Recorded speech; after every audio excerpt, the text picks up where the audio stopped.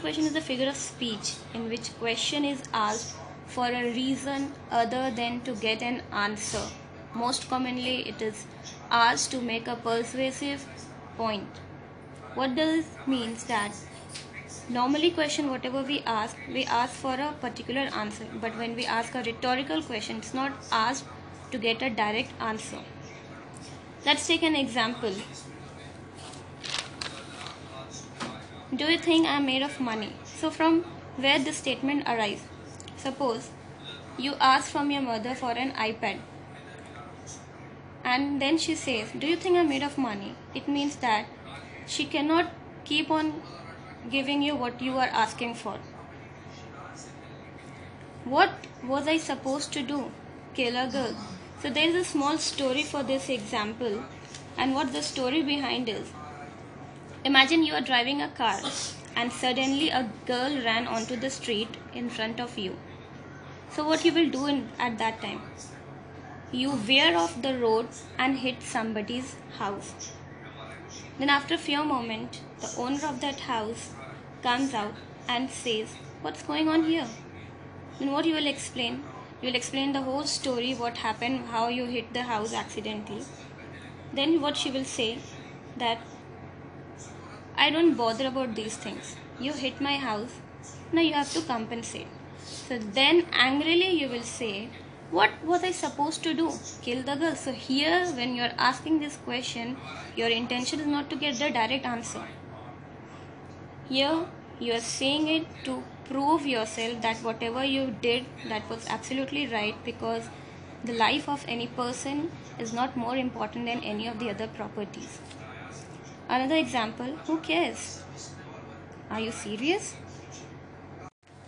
Here comes the another figure of speech that is understatement.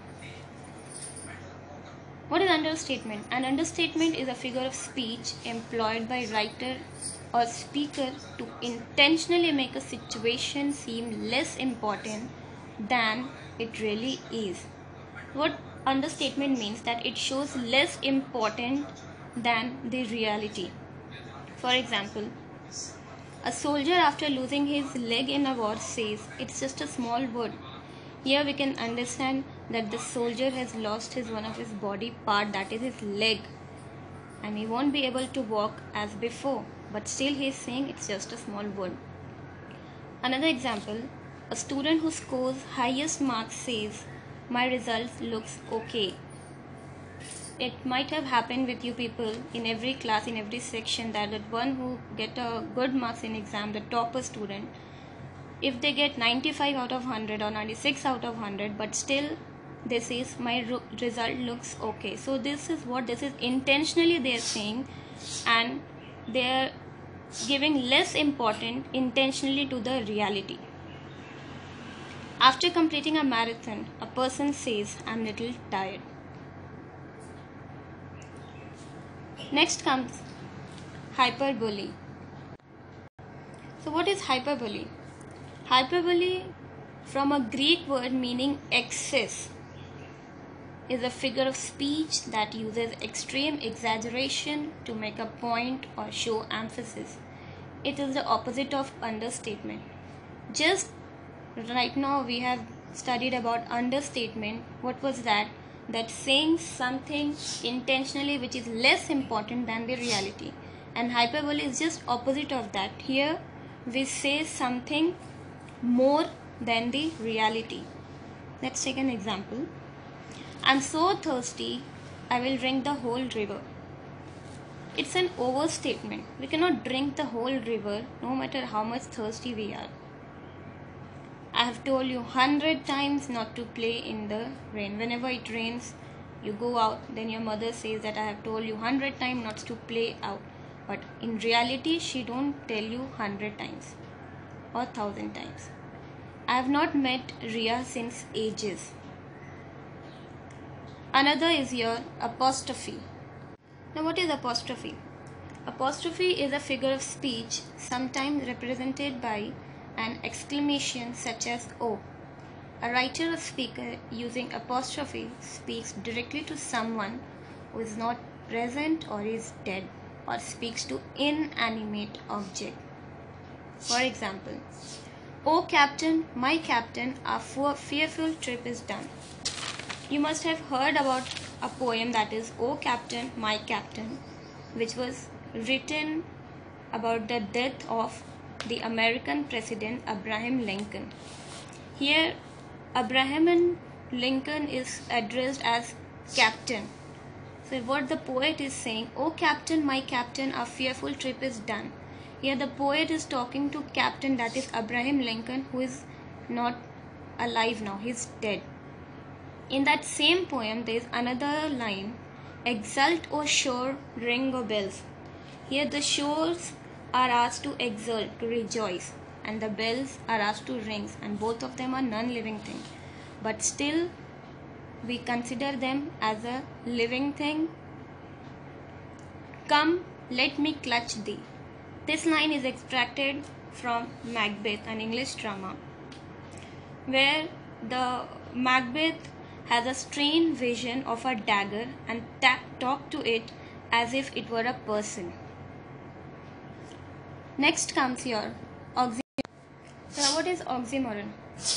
Oxymoron is a figure of speech in which two opposite ideas are joined to create an specific effect. In a same sentence, you will get a two words which are joined together and put together for a specific effect.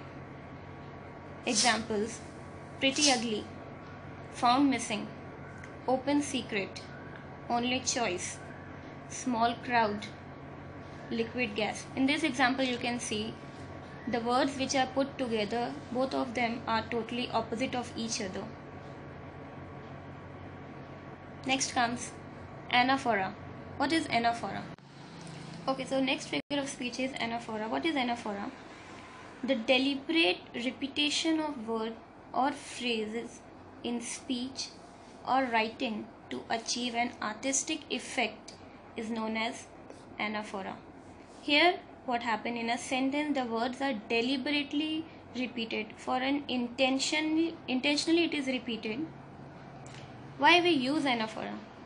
To highlight, to clear the point, to emphasize, to show our interest in speech and writing. Examples I want my money right now, right here, alright. In this sentence, we can see a word that is right. It is repeated three times. Just to show put an effort that yes we want our money back badly. Because suppose you have uh, lent money to someone and the person is not returning it back to us. So angrily we use this sentence and say i want my money right now right here and all right. Another example every day every night in every way i'm getting better and better Another figure of speech is litotes. So, what is litotes? Litotes derive from a Greek word meaning simple. Is a figure of speech that employs an understand by using double negatives, or in other words, positive statement expressed by negating its opposite's expression. In simple words, we can say that litotes is a figure of speech in which negative words say something positive. Let's take an example. Life is not a bed of roses. What does it mean? The clear meaning of this is we can in simple word we can say life is a bed of thorns. We do not get the things easily, rather we need to work hard. There are lots of ups and downs in life. But still we can say like life is not a bed of roses. New York is not an ordinary city. It's very powerful. Your comments on politics are not useless. You're not as young as you used to be. In spite of saying it directly that you are old, we can simply say you're not as young as you used to.